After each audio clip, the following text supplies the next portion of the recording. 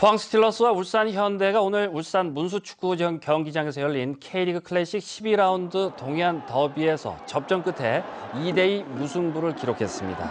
울산 양동현에게 두 골을 내줘 끌려가던 포항은 후반 7분 김승대가 동점골을 터뜨린 후 울산을 계속 밀어붙였지만 역전골을 터뜨리지는 못했습니다.